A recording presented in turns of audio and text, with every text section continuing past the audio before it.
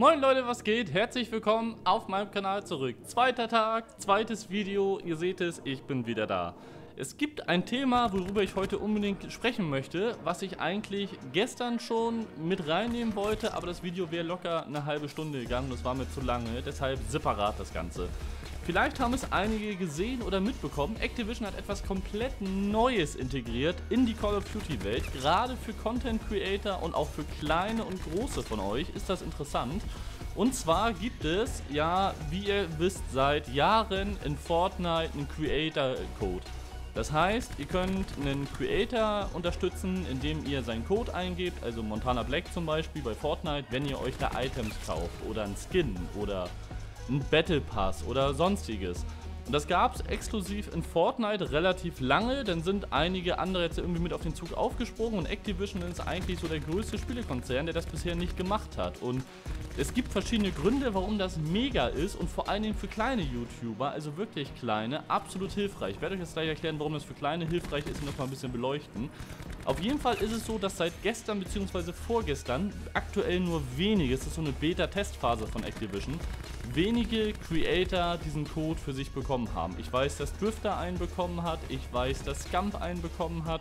Es gibt noch drei, vier andere in den USA, Noah J, der auch diesen Easter Egg Hunt gemacht hat. Also es gibt ein paar Creator, die diesen Code bekommen haben und die erhalten für alles, was man in COD kauft, also ein Battle Pass, ähm, ein Skin, eine Waffe, sonst was, 5% von dem, was ihr bezahlt. Das heißt, wenn ihr jetzt zum Beispiel für 24 Euro oder 2400 Code Points ähm, dieses irgendwas Großes in Modern Warfare kauft, bekommen die davon 10% sind dann eben 2,40 Euro, also die Hälfte 1,20 Euro kriegen die dann davon wenn 24 Euro sozusagen ausgegeben werden. Und wenn man ein paar hundert, ein paar tausend Subs oder Follower hat, auf YouTube, auf Twitch, sonst wo, dann kann das schon einen Unterschied machen und ist eine Einnahmequelle, die echt interessant ist. Denkt nur daran, dass man gerade jetzt, wenn das neue COD rauskommt, ja auf jeden Fall den Battle Pass wieder kauft, was jeweils ein Zehner ist. Und deshalb finde ich das sehr, sehr cool, dass es die Möglichkeit endlich gibt. Und ich glaube, dass diesen Supporter Creator Code auch demnächst für kleinere YouTuber mit reinbringen. Und gerade für kleinere Content Creator, die vielleicht so an der Grenze sind zwischen, mache ich YouTube noch aus Freizeit oder möchte ich das eigentlich Vollzeit machen, vielleicht noch besseren Content kreieren, aber ich habe einfach nicht die Zeit dafür. Und die Einnahmen mit 10, 20, 30, 50.000 Subs lohnen sich dann einfach nicht so wirklich, dass man sagt, ich kann meinen Fulltime-Job aufgeben oder meinen Teilzeitjob oder was man auch nebenbei macht. Und ein bestes Beispiel ist, sagen wir, ein kleiner Creator, der 1000 Abonnenten hat und sagen wir, der kann ein bisschen Werbung schalten. Ihr kriegt pro 1000 Aufrufe ungefähr 3,50 Dollar von YouTube für euer Ad-Revenue bei 1000 Aufrufen aber nur, wenn diese 1000 Aufrufe alle die Werbung geguckt haben, die in den Videos ist. Von 1000 Leuten, die gucken, haben 60% einen Adblocker. Das heißt, es bleiben nur noch 400 Leute übrig, die das Ganze sehen können. Von den 400 gucken aber nicht alle 400 das Video zu Ende, sondern gucken vielleicht nur die Hälfte und überskippen ein bisschen. Das heißt, äh, sind nur noch 200 übrig, die euer Video gucken und auf die Werbung sozusagen irgendwie mit draufklicken. Von den 200 habt ihr jetzt aber auch noch durch YouTube das Problem, dass nicht alle automatisch Werbung bekommen. Sagen wir, es bleiben von 1000 Leute, die geguckt haben, nachher 100 Leute übrig von, euren, von eurer Community, die euer Video sehen und die Werbung vor sich sehen. 100 Aufrufe auf der Werbung sind ungefähr 30 Cent. Und für ein Video braucht man, je nachdem wie man es macht, zwischen eineinhalb bis 5, 6 Stunden. Also 30 Cent Stundenlohn für eineinhalb Stunden, könnt ihr euch runterrechnen, ist ziemlich hart. Wenn ihr jetzt aber einen Supported Creator Code habt und ein kleiner YouTuber seid und ihr habt aber 1000 Abonnenten, wovon 200 euch wirklich cool finden und nur 100 von diesen, die euch richtig cool finden, kaufen sich irgendwas bei Call of Duty Modern Warfare oder Black Ops Cold War oder sonst wo und geben euren Code ein, bekommt ihr ein relativ festes und gutes Einkommen. Denn wenn die alle einen Zehner ausgeben, bekommt ihr 50 Cent. Wenn das 100 Leute machen, dann habt ihr 50 Euro. Somit äh, so viel braucht ihr so, so viel verdient ihr eigentlich nur, wenn ihr unglaublich viele Videos macht und Werbung und vielleicht Streams und Donations und alles mögliche. Das heißt, für kleine YouTuber ist der Supported Creator Code in Call of Duty eine mega Möglichkeit, ein bisschen mehr Einnahmen zu machen und ein bisschen mehr in Richtung Fulltime Content Creator zu gehen. Für größere YouTuber hat das Ganze auch einen Vorteil. Natürlich verdienen die durch eine riesige Fanbase natürlich auch noch richtig viel Geld dadurch. Leute wie ähm, Scump mit 7000 Twitch-Subs, der, wenn er äh, Pro Competitive CDL aufgeben würde, wahrscheinlich 50.000 Twitch-Subs hätte, weil er hinter streamen könnte. Oder Montana Black oder Dr. Disrespect oder sonst wer. Leute, die einfach eine riesengroße Fanbase haben, die können damit natürlich noch deutlich mehr verdienen.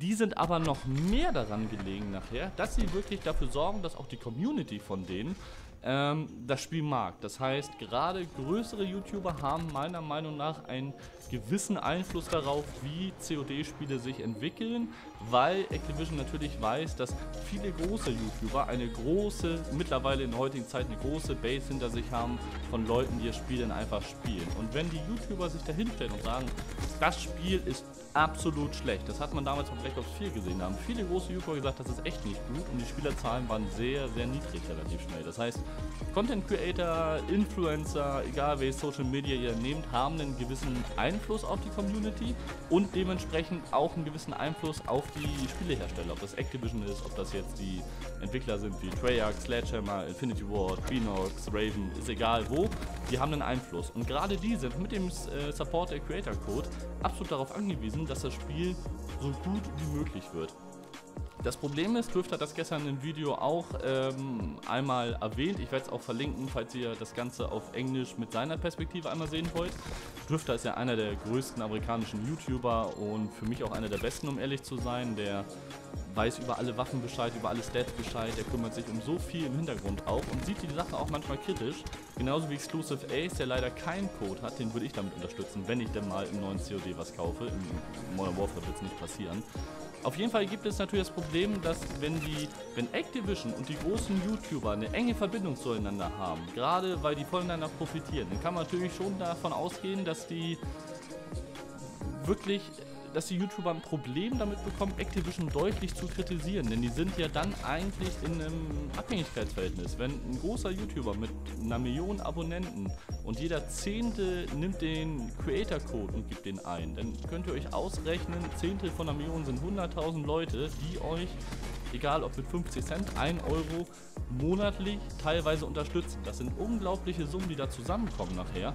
Und deshalb habe ich so ein bisschen die Befürchtung, dass Activision damit auch versucht, unter anderem ein bisschen die Content Creator auf ihre Seite zu ziehen so, dass da die Berichterstattung gerade von Leuten wie Drifter, Exclusive Ace, die auch sehr kritisch mit, mit Activision umgehen, mit den Marktentscheidungen und mit allem, was dazugehört, dass die sich da so ein bisschen die Liebe kaufen wollen, in Anführungsstrichen.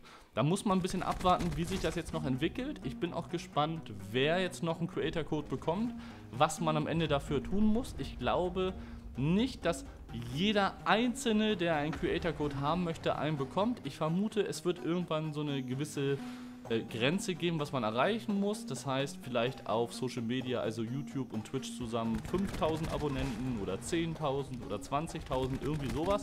Aber gerade für kleinere YouTuber ist das eine super Möglichkeit, etwas Geld dazu zu verdienen.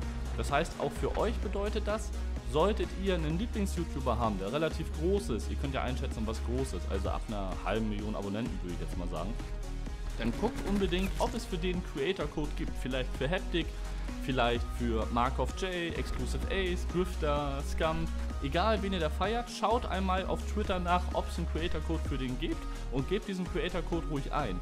Ihr zahlt dafür nichts extra und der Content Creator bekommt aber was dafür. Das ist die einfachste Möglichkeit, neben dem Video einfach zu schauen, was ja für jeden von euch kostenlos ist, den Content Creator damit zu unterstützen. Natürlich werden diese Content Creator diese, diese Codes jetzt auch in jedem Video promoten, weil sie natürlich davon profitieren. Sollte ich irgendwann einen haben, werde ich das genauso machen, weil es einfach wirtschaftlich sinnvoll ist und die Community, wenn sie Bock drauf hat, jemand unterstützen kann. Ich fand das Thema ganz interessant und wollte das deswegen heute unbedingt ansprechen. Mehr habe ich heute gar nicht zu sagen. Ich hoffe, es hat euch gefallen. Ihr habt ein bisschen den Eindruck bekommen, was da jetzt die letzten ein, zwei Tage bei Activision los war und was sie ja so Neues implementiert haben. Ich finde es generell erstmal gut, bin aber natürlich immer sehr vorsichtig und skeptisch, wie das jetzt in Zukunft aussieht. Wer bekommt noch welche und erhöht sich vielleicht die prozentuale Summe, die man dadurch irgendwie miterhält. Lasst gerne ein Like da, Leute. Wenn ihr neu seid, lasst gerne ein Abo da. Ich bin raus. Haut rein.